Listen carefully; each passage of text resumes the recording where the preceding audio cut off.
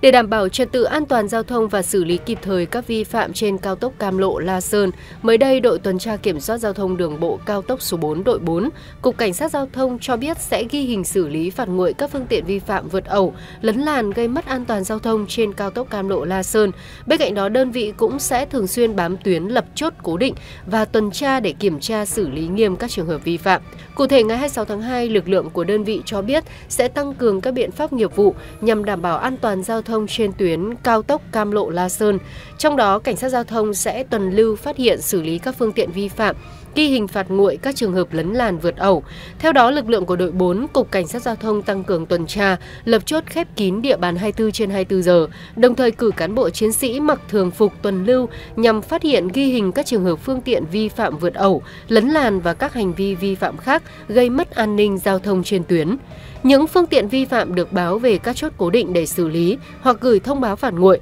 Đối với những video clip hình ảnh các phương tiện vi phạm như lấn làn, vượt ẩu trên tuyến được người dân ghi lại và cung cấp rõ biển số xe, mốc địa điểm, thời gian vi phạm thì lực lượng cảnh sát giao thông sẽ xác minh và gửi thông báo đến chủ phương tiện để xử lý.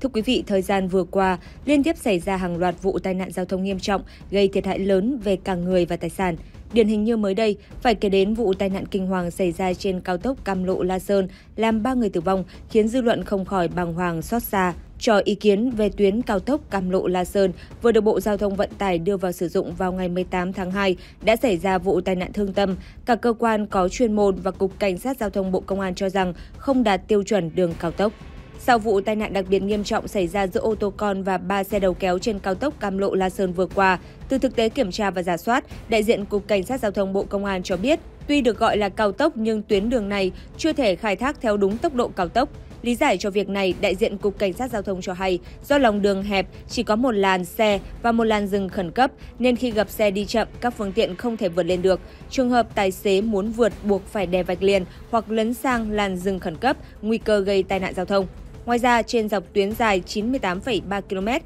qua hai tỉnh là Quảng Trị và Thừa Thiên Huế có rất nhiều nút giao. Tại mỗi nút giao lại có những đoạn đường có 3 làn xe. Điều này vô tình tạo ra vô số những nút thắt cổ chai, Đại diện Cục Cảnh sát Giao thông quản lý về giao thông trên tuyến cao tốc Cam Lộ La Sơn nói, thực trạng trên rất nguy hiểm cho những lái xe tài xế chưa quen đường, nhất là vào ban đêm tầm nhìn quan sát bị hạn chế. Theo đại diện Cục Cảnh sát Giao thông, vụ tai nạn ô tô vừa qua trên cao tốc Cam Lộ La Sơn lỗi do lái xe vượt ẩu vượt phải nhưng lại xảy ra tại đoạn cao tốc đang có 3 làn xe đoạn qua mút giao cầu tuần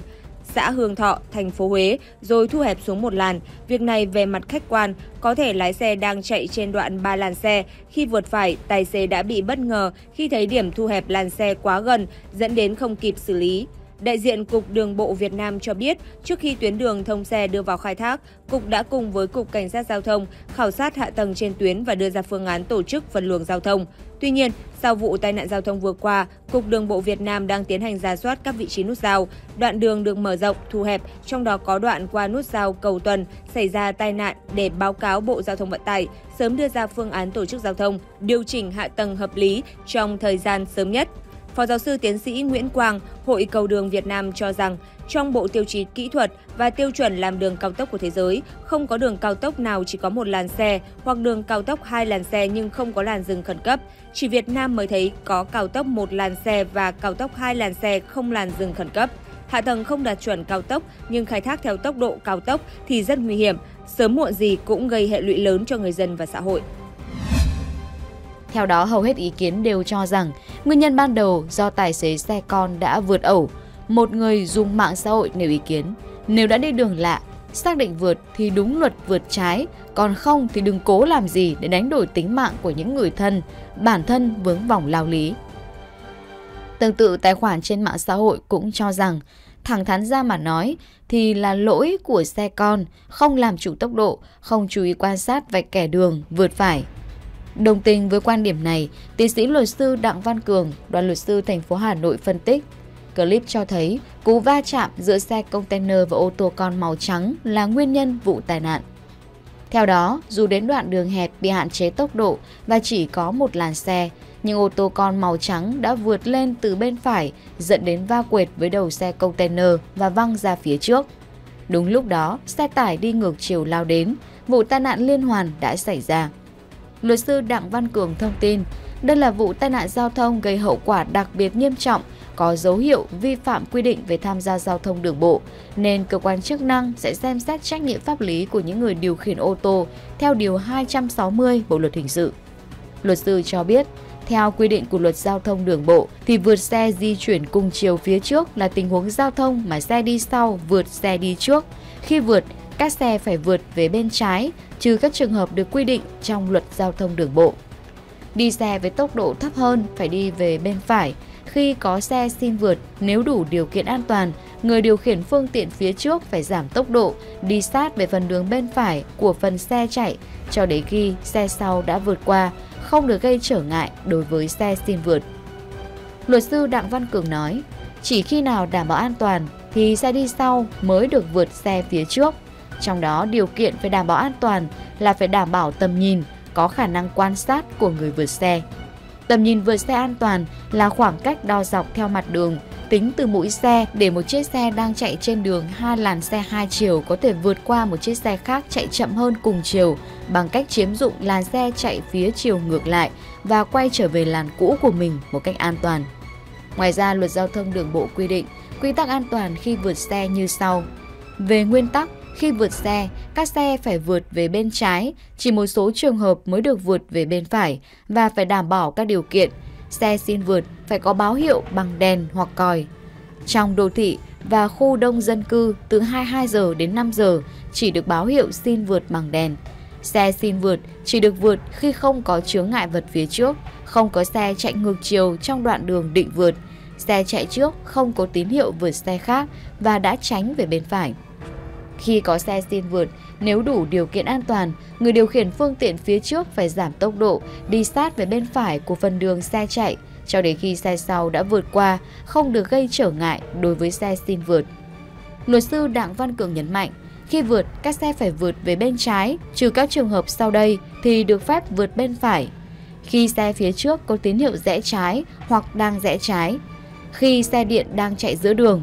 khi xe chuyên dùng đang làm việc trên đường mà không thể vượt bên trái được. Tại khoản 2, điều 15 Luật Giao thông đường bộ quy định các trường hợp không được vượt, không đảm bảo các điều kiện quy định. Trên cầu hẹp có một làn xe, đường vòng, đầu dốc và các vị trí có tầm nhìn hạn chế. Nơi đường giao nhau, đường bộ giao nhau cùng mức với đường sắt. Khi điều kiện thời tiết hoặc đường không đảm bảo an toàn cho việc vượt, xe được quyền ưu tiên đang phát tín hiệu ưu tiên đi làm nhiệm vụ.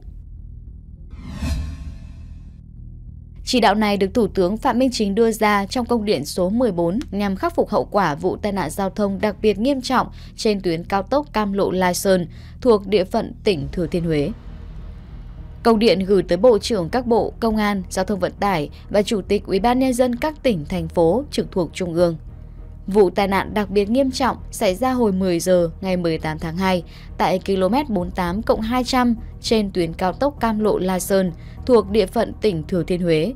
Thời điểm trên, ô tô 7 chỗ mang biển kiểm soát 36A 48567 và chạm với xe đầu kéo mang biển kiểm soát 63C 13659, hậu quả làm 3 người tử vong. Nhận được thông tin vụ việc, Thủ tướng đã chỉ đạo gửi lời thăm hỏi và chia buồn sâu sắc tới nhân thân, gia đình các nạn nhân tử vong. Ông đồng thời chỉ đạo lực lượng công an và lãnh đạo tỉnh Thừa Thiên Huế tới hiện trường để chỉ đạo khắc phục hậu quả vụ tai nạn. Để kịp thời khắc phục hậu quả và ngăn chặn các vụ tai nạn giao thông tương tự, Thủ tướng yêu cầu Chủ tịch UBND kiêm trưởng ban an toàn giao thông tỉnh Thừa Thiên Huế chỉ đạo các cơ quan đơn vị chức năng của tỉnh tạo điều kiện thuận lợi để gia đình nhanh chóng tiếp cận các nạn nhân trong vụ tai nạn, làm các thủ tục liên quan đến nạn nhân tử vong. Các cơ quan được yêu cầu tổ chức thăm hỏi, hỗ trợ động viên gia đình nạn nhân tử vong trong vụ tai nạn. Theo yêu cầu của người đứng đầu chính phủ, Chủ tịch UBND tỉnh Thừa Thiên Huế trực tiếp chủ trì tổ chức hội nghị với các cơ quan, lực lượng chức năng đánh giá nguyên nhân, triển khai các giải pháp khắc phục tồn tại, bất cập sau vụ việc này. Song song với đó, Thủ tướng chỉ đạo xem xét, xử lý nghiêm trách nhiệm của tổ chức cá nhân liên quan. Lãnh đạo chính phủ giao Bộ Công an chỉ đạo Công an tỉnh Thừa Thiên Huế và Công an các đơn vị có liên quan khẩn trương điều tra, làm rõ nguyên nhân vụ tai nạn và xử lý nghiêm theo đúng quy định của pháp luật đối với tổ chức cá nhân vi phạm quy định gây ra vụ tai nạn giao thông đặc biệt nghiêm trọng nêu trên. Theo yêu cầu của Thủ tướng, các cơ quan cần xác định làm rõ nguyên nhân trực tiếp gây ra tai nạn giao thông và các nguyên nhân có liên quan để phục vụ công tác phòng ngừa tai nạn giao thông tương tự trong thời gian tới. Bộ Giao thông Vận tải được giao chỉ đạo Cục Đường bộ Việt Nam phối hợp với các cơ quan có liên quan tiến hành giả soát, tăng cường tổ chức giao thông hợp lý trên tuyến cao tốc Cam Lộ Lai Sơn và hệ thống kết cấu hạ tầng giao thông trên các tuyến cao tốc quốc lộ trọng yếu, nhất là các tuyến cao tốc chỉ có hai làn xe, tuyến cao tốc không có làn dừng khẩn cấp. Đặc biệt, Thủ tướng lưu ý bổ sung các kết cấu hộ lan, hóc cứu hộ, cứu nạn trên các tuyến cao tốc, quốc lộ trong cả nước. Sau vụ tai nạn kinh hoàng, trên một diễn đàn mạng xã hội có nhiều tài xế tham gia đã có những bình luận về vụ tai nạn cũng như những nỗi sợ trên cao tốc Cam Lộ La Sơn. Một số tài khoản bình luận rằng tài xế ô tô con cố vượt xe đầu kéo là để không phải đi sau xe này trên phần đường sắp tới, do đó mới xảy ra tai nạn. Có tài khoản căn cứ vào video ghi lại sự việc, suy đoán trên xe chỉ có hai người ngồi hàng ghế đầu thắt dây an toàn, là hai người sống sót, chỉ xây sát nhẹ còn ba người hàng ghế sau đều tử vong đã không thắt dây an toàn. Từ đó người này khuyến khích việc thắt dây an toàn trên xe dù ngồi ở vị trí nào.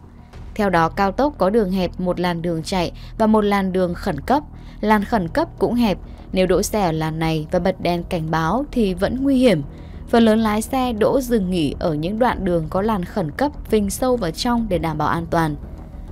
Toàn tuyến phần lớn là vạch liền, có những đoạn vạch đứt và có những đoạn có hai làn đường riêng biệt. Cánh tài xế cho rằng vượt trên đường này rất khó, nguy hiểm và phải đợi đến đoạn đường đôi. Nếu vượt đoạn vách đứt phải canh xe đối diện khoảng cách cho chuẩn, tính toán tốc độ xe mình chính xác, quyết đoán để vượt. Đường lên xuống đồi dốc rất nhiều, cua tay áo cũng có. Nếu không giữ làn tốt, cua rất dễ đâm vào xe bên làn ngược lại. Toàn tuyến gần như không có đèn cao áp chiếu sáng hai bên. Chạy ban ngày tầm nhìn tốt còn nguy hiểm, nếu chạy ban đêm khi vượt xe chỉ cần có tính toán sai các yếu tố trên sẽ dẫn đến tình huống đối đầu trực diện xe đi ngược chiều và khả năng tai nạn cực cao, thậm chí xe văng ra khỏi đường lao xuống ruộng hoặc vực sâu hai bên. Một tài khoản khác cho rằng tuyến đường chỉ nên đi ban ngày, không đi vào buổi tối. Sóng điện thoại chỗ có chỗ không. Xe bóng đèn halogen nguyên bản chắc khóc vì xe đi ngược chiều mất. Tài khoản này cho rằng tai nạn ở tuyến đường này chủ yếu là do tài xế buồn ngủ, tuy nhiên không nên đi buổi tối vì quá nguy hiểm. Đoạn cam lộ La Sơn chỉ mới chạy 30 km đầu Huế nhưng cảm nhận là vạch liền cấm vượt của tuyến này kẻ rất dài và ít chỗ vượt, chiều rộng đường hạn chế, làn đường khẩn cấp nhỏ, lại rất nhiều xe đầu kéo đi nguy hiểm hơn đoạn Huế Đà Nẵng, La Sơn Hòa Liên rất nhiều. Đường cao tốc Cam Lộ La Sơn đi qua địa phận hai tỉnh Quảng Trị và Thừa Thiên Huế. Tuyến đường có chiều dài 98,35 km, điểm đầu giao với quốc lộ 9 tại xã Cam Hiếu, huyện Cam Lộ, Quảng Trị. Điểm cuối là nút giao La Sơn, kết nối với đường cao tốc La Sơn Túy Loan. Vâng thưa quý vị, sau vụ việc nói trên, thiết nghĩ các tài xế khi tham gia giao thông cần tuân thủ nghiêm ngặt các quy tắc đảm bảo an toàn như làn đường, tốc độ, vượt xe và chú ý quan sát bởi chỉ cần một chút lơ là có thể gây ra tai nạn nghiêm trọng, để rồi hối tiếc thì đã quá muộn màng. Đến đây thời lượng của chương trình cũng đã hết. Cảm ơn quý vị và các bạn quan tâm theo dõi. Xin chào và hẹn gặp lại.